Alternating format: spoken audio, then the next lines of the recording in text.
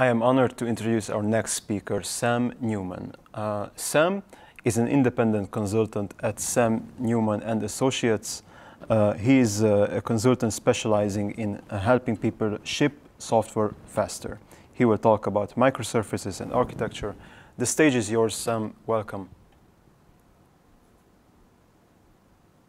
Thank you so much indeed. Thanks for having me. Uh, hello, everybody. I'm sorry we can't be doing this in person because CraftConf is basically my favorite conference of the year. So I'm really glad to be able to participate and actually meet people in a way that I've never been able to meet you before. So for those of you who haven't been able to come to a CraftConf before, welcome. This is about my fourth or fifth time, I think. And I love coming to this event every single year in whatever form it happens. Today, we're going to be talking about microservices, which are sort of still a bit of a new concept, but also a lot of old concepts and how they're related to microservices and how maybe paying attention to ideas from the 1960s might help our 2021 based software architectures work a little bit better um, as was mentioned, my name is Sam Newman. I do, you know, sort of, I work as a consultancy consultant working for my own company. Um, I do training advisory consultancy work. You can find out information about me on the internet. I'm fairly easy to find.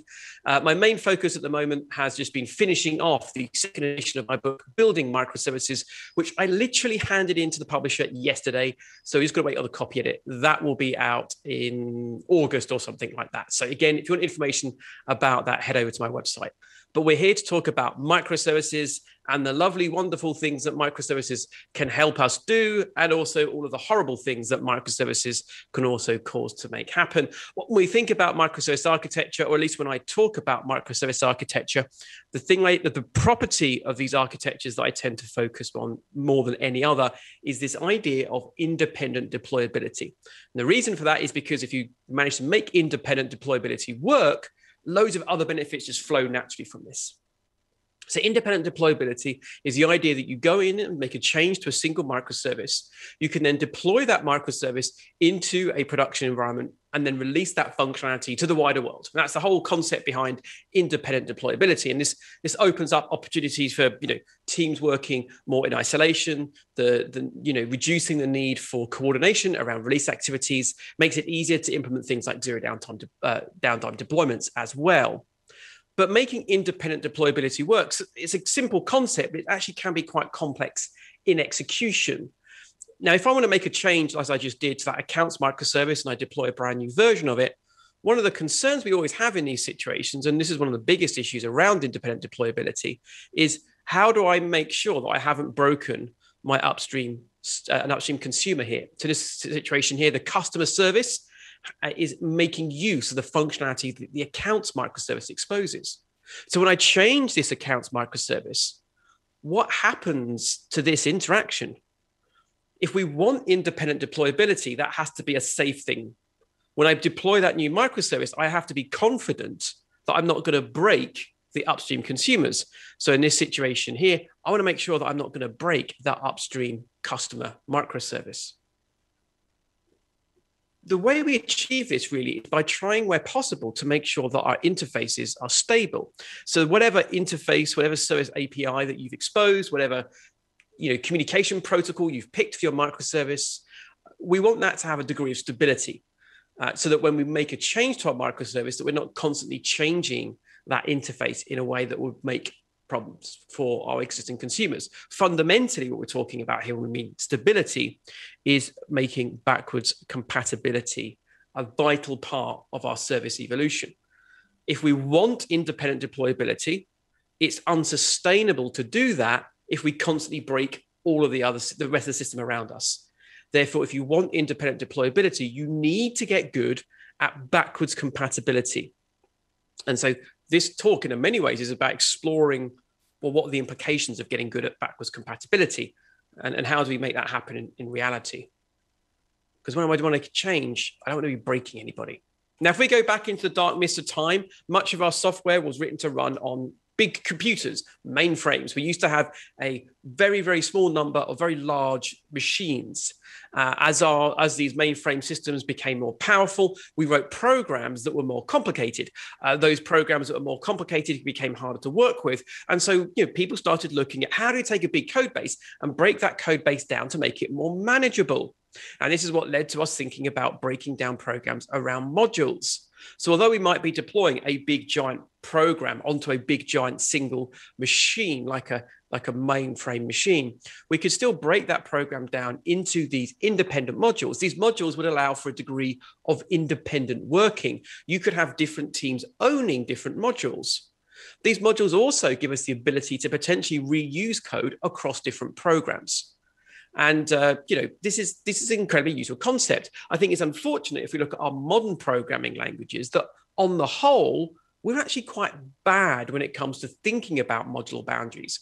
We tend to, you know, we don't really make use of even the very simple concepts that we have that would theoretically give us something like modular separation, like namespaces and packages, you know, in our code, we tend to think of these as quite loose concepts. And maybe they're just sort of arbitrary ways of categorizing code rather than us thinking about actually finding and defining useful boundaries.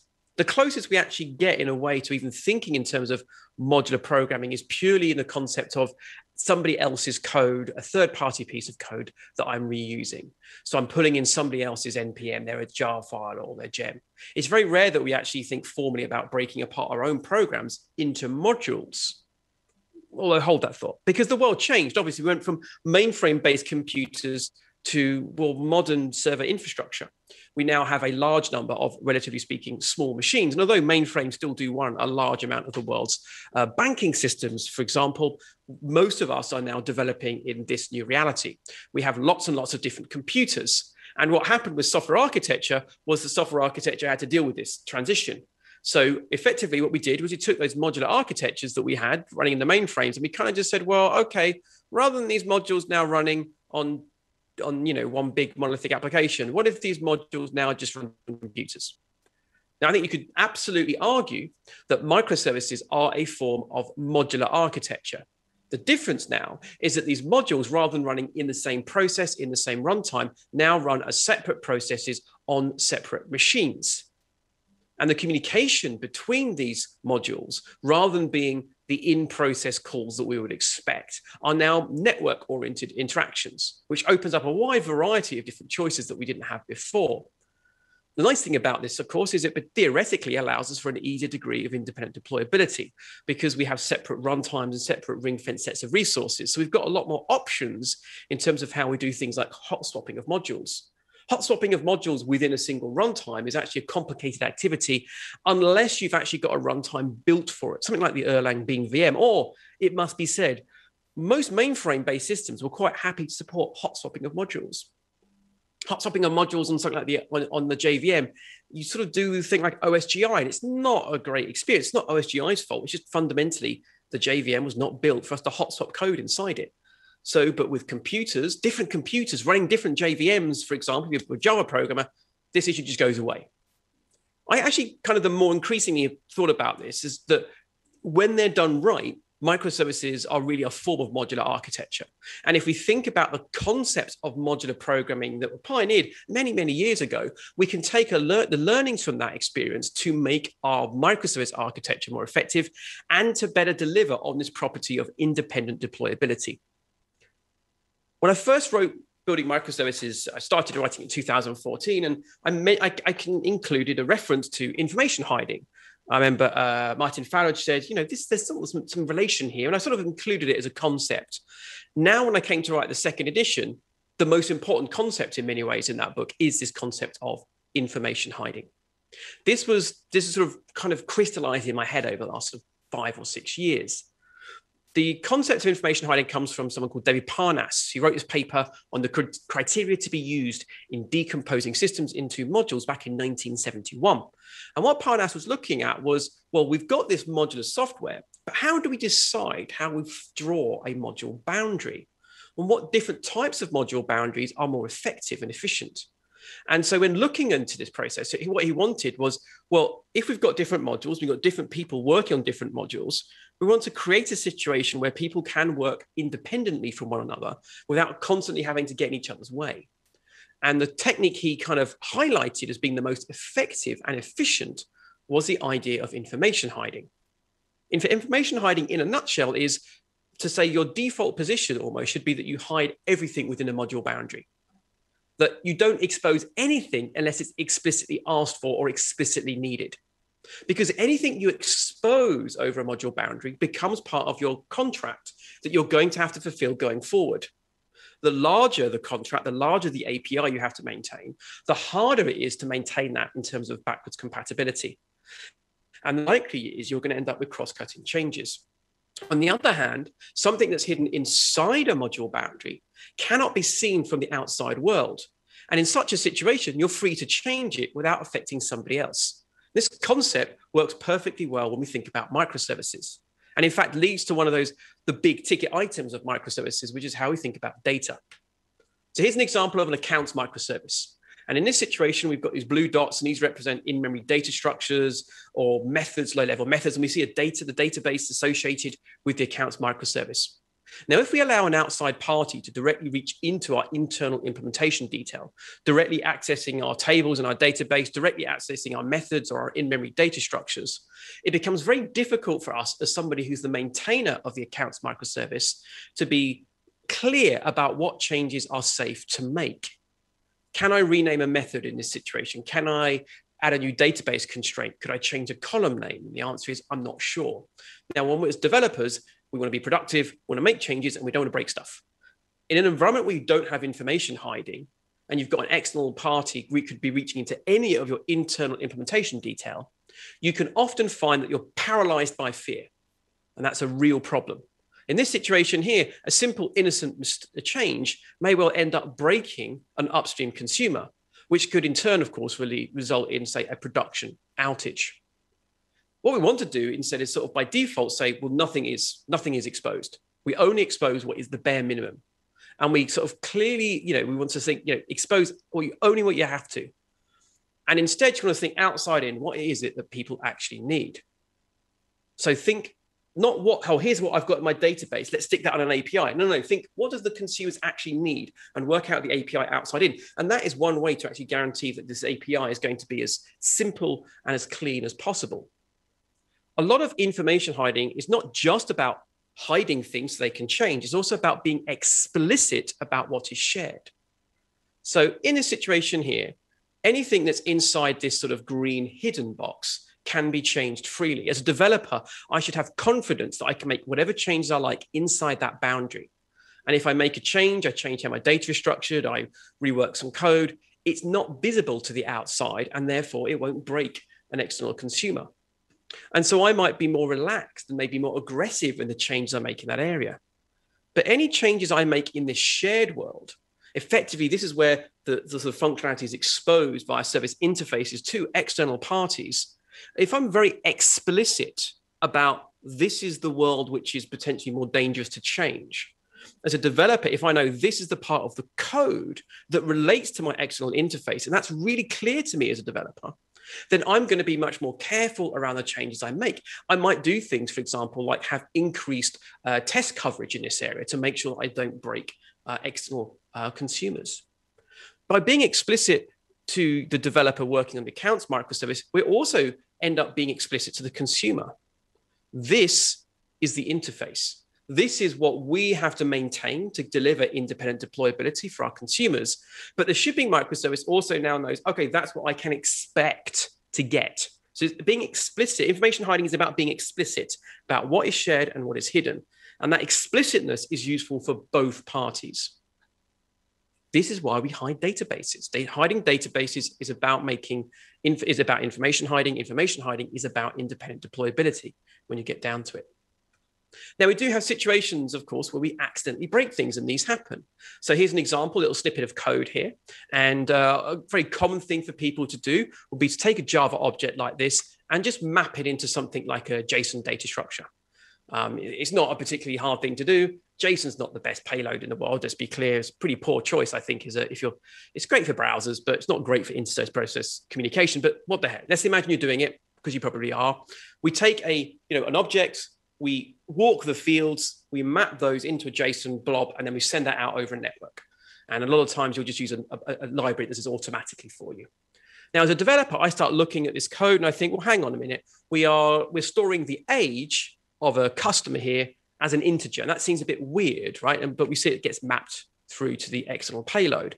But as a developer, I'm thinking, well, that seems silly, right? Because I might read that out of a database and then the date changes, we roll over into the next day, but I'm still holding the date, the age rather, of that person, but they, it might have been their birthday.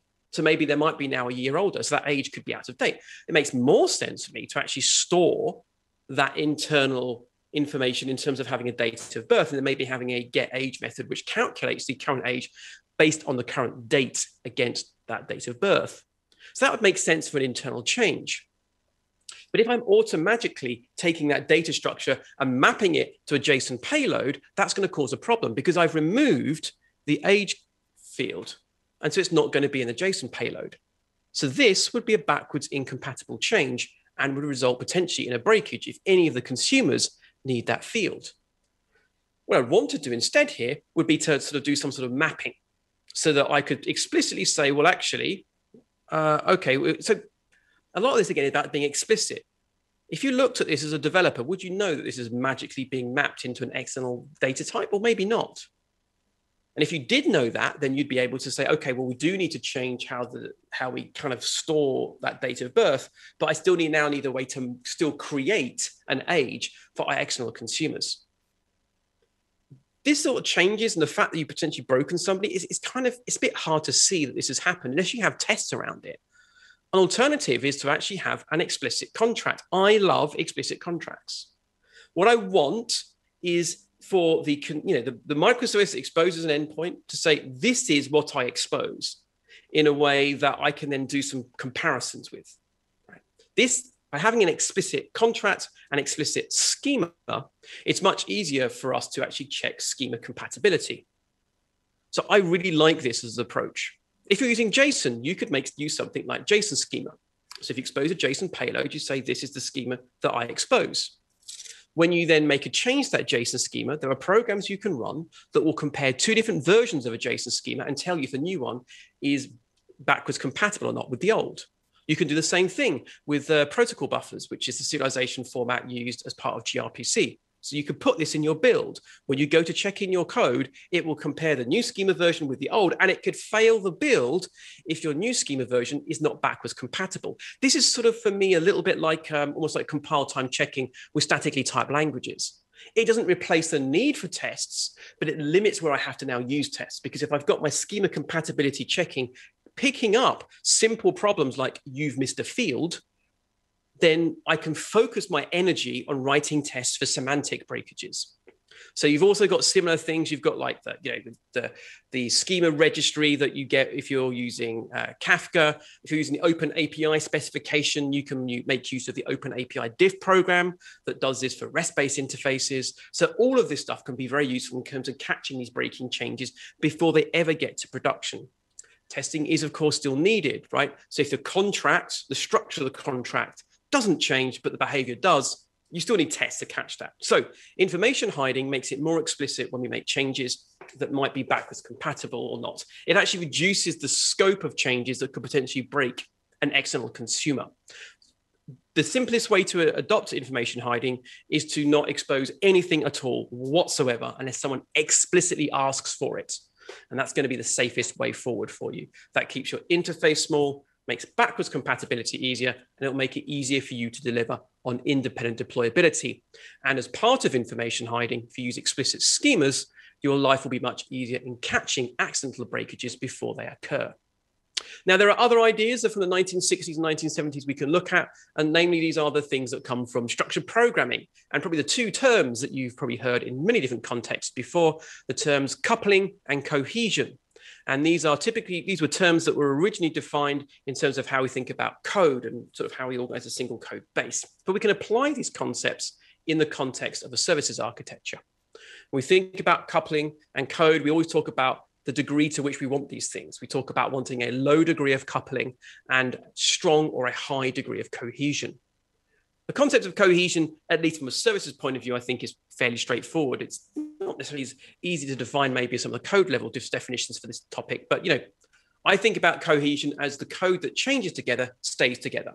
So if I'm, you know, I, don't really want to have to go into 15 different places to change how invoicing is done. I want to have to go and change invoicing in one place. So my code is highly cohesive. I think if you're avoiding the need to change lots of different things, that's kind of conceptually how I grasp the idea. And this kind of speaks to why we don't like weak cohesion. So here I've got a services architecture, but the functionality for my system is spread across all of these layers of the system such that I'm constantly having to make changes across multiple layers. So if this is something that's going on in your architecture, you probably have a weak cohesion. And in that context, you probably end up with all kinds of nasty coupling issues, which we'll get to in a minute. Coupling is a degree to which changing one thing requires a change in another. So if you think about it modules or microservices. So if things are tightly coupled, changing one thing requires me to have to change the other thing as well. Now, it turns out that these concepts of coupling and cohesion are actually linked. There's a thing called Constantine's law, which was named after Larry Constantine, which basically says that a structure is stable. And we want stable structures, remember, because we want those stable interfaces. A structure is stable if cohesion is strong and coupling is low. And this sort of makes sense from a common sense point of view. If cohesion is low, therefore my code is spread across different layers of my architecture, for example. When I make a change, I'm often going to have to change those, end, those, those sort of different parts together. So that's an example of weak cohesion, but now it's also strong coupling as well, because I'm having to change lots of things together. If you've built a distributed system and layered architectures often fit the bill here. If you've got a distributed system and you're constantly finding yourselves having to make change to multiple microservices at once and perform like lockstep deployments, it's, the chances are you've got weak cohesion and tight coupling. You have what is called a distributed monolith, and your life is probably painful. When it comes to coupling, there's, there's different types of coupling that you encounter. Microservices sort of have this interesting paradox because, in a one sense, we want microservice architectures for their independent deployability. But on the other hand, microservices don't really exist by themselves. If you have one microservice, you don't really have a microservice system. You have a, you know, a standalone application. Microservices kind of collaborate with one another. They work together to make something happen. So microservices have to talk to each other. So there is some degree of coupling that is unavoidable. So we can look at the different types of coupling that you'll encounter and look at them. Are they good? Are they bad? What does this mean? So we start off with domain coupling, which is the weakest form of coupling that we'll see. This is talks about normal service-service interaction. We'll then look at common coupling, and finally, we look at content coupling. And we'll see how, as we go from the left to the right, these types of coupling become worse. So when working on a system, when trying to improve a system, what we're going to try and do is try and take the tight forms of coupling and make them looser, if you want, to get the independent deployability that we would like. So Let's start with domain coupling. Domain coupling is what occurs when one microservice is talking to another. Effectively, here we're talking about coupling to what would be called the domain protocol if we're thinking with our REST hats on. So in this example here, I've got something called an order processor. And the order processor needs, as part of its operations, to reserve stock. But it doesn't manage stock. The warehouse manages stock. So in this situation, the order processor is asking the warehouse to please, can you reserve some stock for me? Likewise, it's going to the payment service and saying, please, can you take payment? In this situation, we have domain coupling. This order processor has a degree of coupling to both the warehouse and the payment microservice. If we change how this, how say the warehouse protocol works, then that will cause a change in this interaction. Likewise, if we change, say, the payment um, domain protocol, that will change this interaction. Now, there is no communication or coordination between the warehouse and the payment microservice. So a change here, say a change to the warehouse domain, wouldn't impact payment. Domain coupling is kind of the weakest form of coupling that we kind of will, will see in a microservice architecture, apart from there being zero. And it's sort of some degree of this is acceptable. We'll still try and reduce it though. When you see one microservice that is has domain coupling to lots of downstream microservices, that's a microservice that could be more vulnerable to any domain protocol changing. It's also sometimes it's sign it's doing too many things. So again, the weaker form of coupling. So let's look at maybe kind of a middling form of coupling that you might see in a service architecture. And this is what's called common coupling. And this is a situation where you've got multiple microservices which are all dependent on an externally defined, say, data source. A good example might be an in-memory cache. So here we've got the warehouse microservice, which is managing and recording stock levels, say held in an in-memory Redis cache. Uh, just doesn't have to be Redis, could be any kind of in-memory sort of data structure. And the order processor reads stock levels from this, and the forecasting microservice reads their stock levels from that situation. The problem we've got here is this is kind of just an arbitrary data shared data structure effectively. Any change that data structure is potentially going to have kind of a nasty ripple effect. So, you know, this is not great. There are some situations where it's acceptable. Good examples would be things like um, static reference data. So I need a list of, I don't know, all the countries of the world and the capitals of those countries. And it's a very static bit of data, it doesn't change very often. And fundamentally, the structure of this data doesn't change too much. With things like common coupling, this gets worse as this data structure becomes more complicated. The simpler this data structure is, the easier common coupling is to deal with. Um, so just that's something to be aware of. We try and avoid. So if you think about the difference between something as simple as a stock level, which I might, which might just be, you know, the ID of an item and the number of items that we've got in stock, that's a very very simple data structure to maintain, and it's not going to change that much. Compare this to maybe a giant shared database, which has a very rich schema structure. There's a the richer the schema structure, the more chances there are that you're going to have to change some part of it. Let's look at now the worst form of coupling that we might encounter. This is what's called content coupling. And these terms are kind of a bit weird because this is the, the kind of the original terms for these types of coupling. So here I've got an order microservice that manages the life cycle of a given order. And so its its job is to look after sort of how uh, the piece of data around an order changes, amongst other things. And we have a well-behaved order processor that, as part of its operations, every now and then needs to um, ask to the order microservice to make changes to the order. So it might say, okay, hello order, can you please move the um, order from state placed to state um, picking?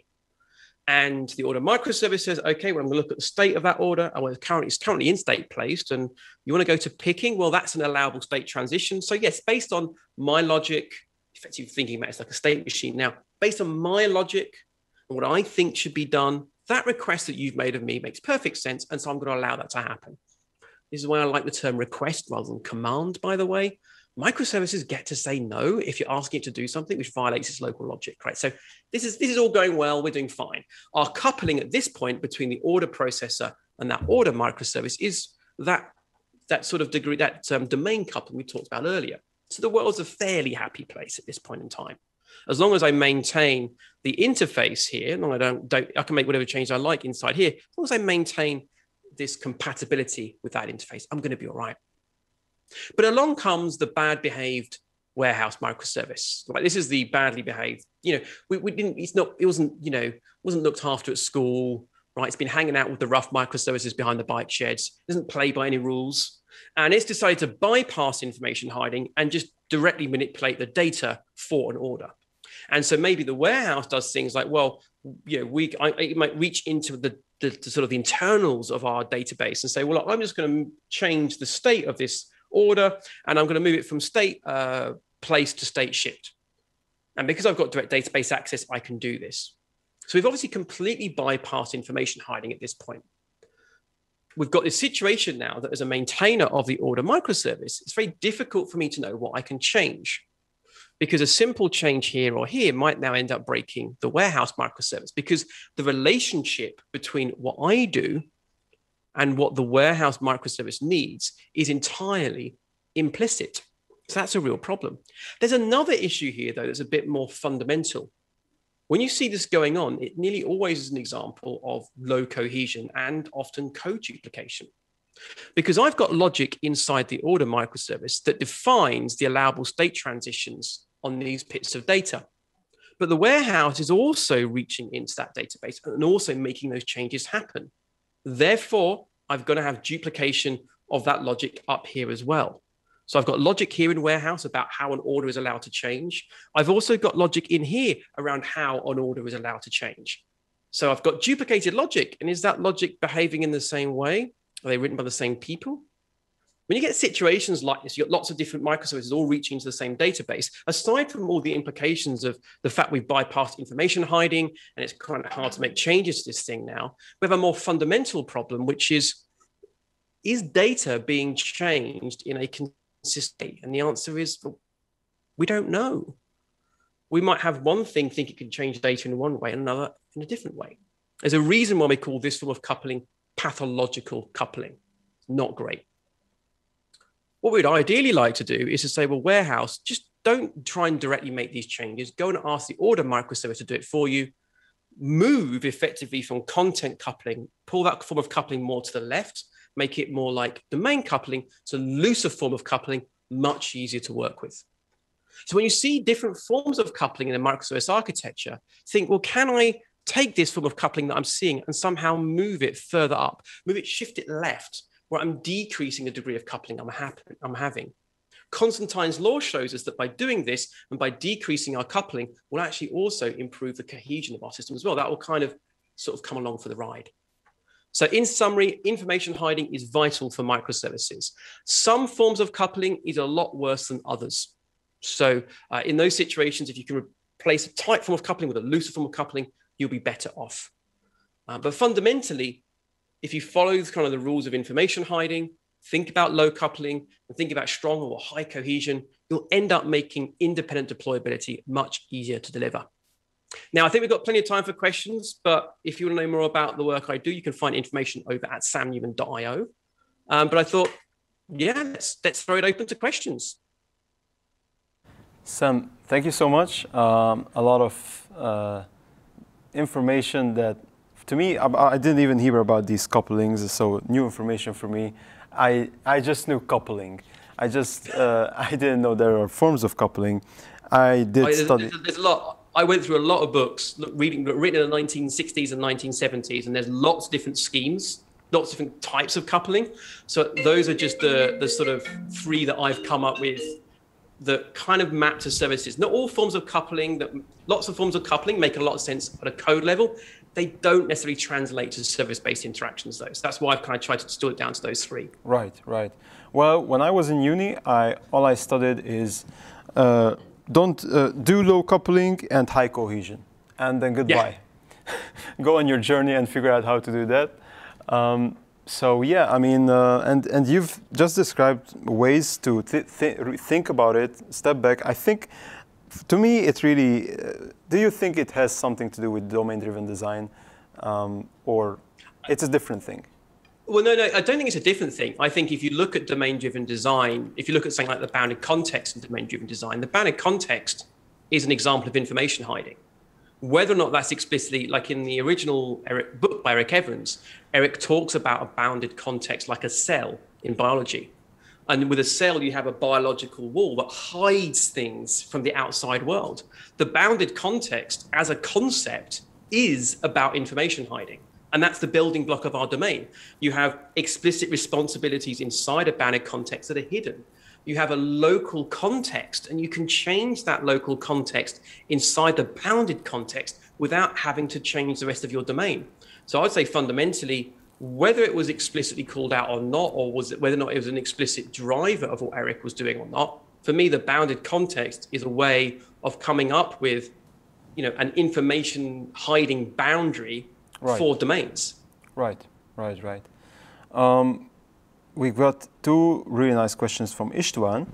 Uh, first one, interface, uh, yeah, interface of module and contract between modules are key for backward compatibility.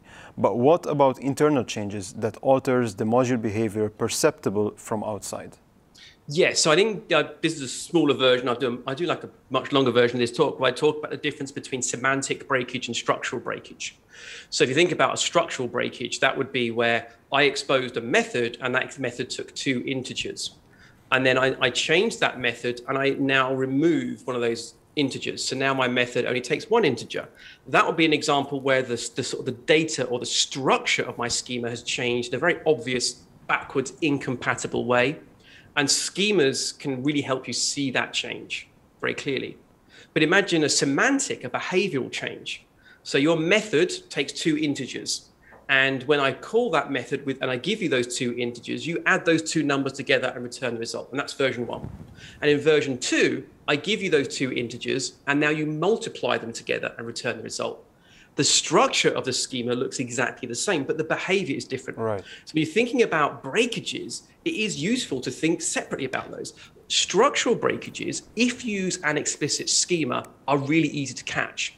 Semantic breakages, though, are something you're going to need to write tests for. And this is where I'd use things like consumer driven contracts to pick up those problems. I see. So you can't really formulate everything in, in the interface. You have to have tests as well besides the interface definition. Well, this the, the analogy sort of I draw here is if you think about a statically typed versus dynamic type languages. With a statically typed languages, the compiler catches a lot of the kind of programming errors you might make. It won't compile because I'm calling a method that doesn't really exist. Right. Um, and then that means that my testing work with a statically typed language can be more focused on checking the behavior of the software. Right. Right, right. With right. dynamically typed languages, though, because the types aren't fixed until runtime, it's easier for those mistakes to kind of leak through. And so some of our tests effectively end up catching those typing issues. Right. I'm not saying I love dynamically typed language. I use dynamically typed language a lot inside microservice boundaries. Personally, though, I feel that at the service level, it makes sense to put the work into having explicit schemas just to catch the easy stuff, make the easy stuff easy. And then we can focus our brain power on the really important hard stuff, which is the semantic compatibility checking. Right. Um, again, a lot of questions. I will go with, uh, I will read the second question of, of Istvan. Um, but before I will ask uh, question, you've mentioned that you would avoid JSON for interface communication. Why is that, and what would you recommend instead of it? So, so firstly, I say that because I want to make sure people are paying attention. Uh, because it's always useful because some people get really annoyed when I say that JSON is rubbish. I mean, JSON is rubbish, but it does make sure people are paying attention. But partly because it's not that, you know, what's it good for really? Oh, oh it's human readable. What, what do we care if we're sending something from one computer to another? What have human readability got to do with it? For, for a community, you know, for a text file, sure, do whatever you want. It's not that much smaller than XML. XML has some significant benefits. There's a lot of uh, implementations around XML parsers are still significantly faster than their JSON implementations. Um, so for me, it's like it's just it's something we've sort of ended up with. It's fine for browsers, but if you're looking at say efficient communication between services, we're looking at serialization formats I mean, you have to look obviously look at your your the programming problem you're trying to solve. But protocol buffers, for example, are mm-hmm. significantly mm-hmm. faster to write, right. faster to send, and faster to read. And there are lots of other serialization formats out I there. I keep saying protobuf to everyone, but no one listens to me so far. So, yeah, I, well, yeah. yeah. Um, next, okay, next question um, from Istvan. What transaction pattern would you recommend when more services are involved in atomic imp- operations?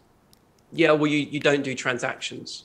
So um, if you think about the transactions you're thinking of, you're thinking of transactions in terms of probably a database transactions. So you're thinking about, you know, atomicity of operation. You don't, when you move to a distributed system, I strongly, strongly, strongly, strongly, strongly recommend you start trying to give up this idea of atomic state change. There are some programming problems where you absolutely have to do it, but they should be in the minority fundamentally, if you're trying to do atomic state changes across multiple microservices, you'll end up being in the world of basically coordination of distributed locks. Um, so don't do those things. Typically, what people are trying to do with these situations is effectively model a business process. And in which case, model a business process. Don't try and just use some kind of distributed transaction to fix this problem. It's not going to fix the problem in the way you expect. Um, have a look at these things called sagas instead. Um, mm-hmm. And uh, so sagas give you a way of explicitly modeling operations that could span multiple different transactions. You can still have transactionality, but you don't have transactionality across the whole operation. You have it across different bits of the operation. Mm-hmm. Mm-hmm. So sagas are the things you look at. Um, I write them up in chapter four, I think, of Monolith to Microservices. There's a whole chapter on this stuff in the new Building Microservices version. Chris Richardson covers, I think he has a whole chapter on sagas in his Microservice Patterns book. And there is a great talk by Caitie McCaffrey, um, who you should always watch because she's awesome. Uh, but she has a really nice talk about sagas. I think she you can find it online. Um, her talk about sagas focused on what we call an orchestrated saga. There's also these things called choreographed sagas, and I think Chris talked about the distinction in his book. I've heard about sagas, but uh, in a different context in Redux. Uh, but I think it's quite similar because sagas define like a process. But you've just mentioned a lot of like sources. Uh, do you have a website where we can go and we can have this? Uh, I think the, the presentations will be available in some way or another. Yeah, yeah. But the, the, uh. I, have got there are slides available online. Uh, I mean, you can find on my website, samnewman.io, there's links to all my books there. So monolith to microservices, you can go and read it at O'Reilly.com. You can get a free trial at O'Reilly.com, like a seven day free trial or 30 day free trial. And you can read the whole book without paying me any money. Um, but I have a mortgage. So if you can buy a copy, that would be great. Um, uh, but yeah, uh, but yeah, it, it, I will um, pop a note in and hop in Hopin with those references a bit Yeah. later on, just so everyone's got them. Please do, yeah, yeah. Um, one more question or two more questions uh, from Razvan. If the warehouse service only reads data, is that acceptable? It's uh, reading, only reading the internal data of a microservice is a little bit better than writing. So it still, though, has the problems of coupling. So I still have that fundamental issue that I change that database structure, I break the external consumer. So if you're reading or writing, that doesn't change. It potentially lessens the concerns about duplication of, say, state transition. So in a situation where both of those things are writing, I've got logic about how state is tra- allowed to transition in two places. If I'm not writing, that kind of goes away. But there's still other issues around duplication of logic and potentially inconsistency in terms of how that data is viewed. So it's better, it's still not great. And you're still fundamentally not hiding.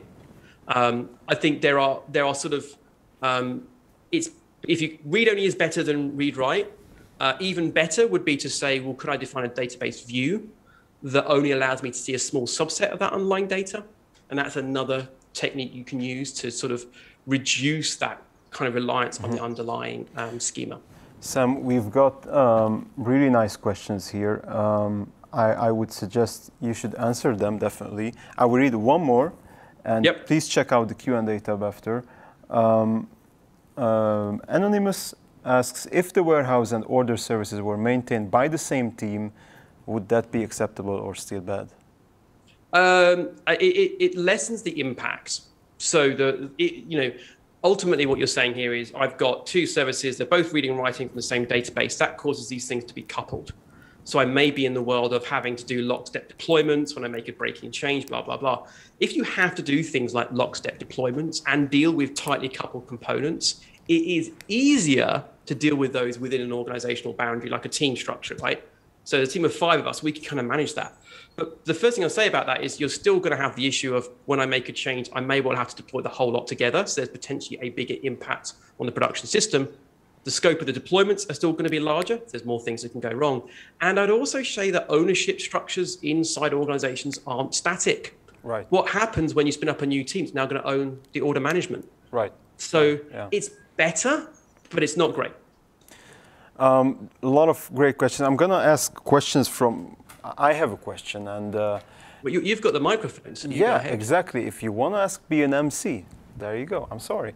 Well, so my question: What kind of technologies? Because I'm more practical. What kinds of uh, tools actually or frameworks uh, do you use? Do you prefer? Um, f- we've, I've mentioned Protobuf. Do you use it?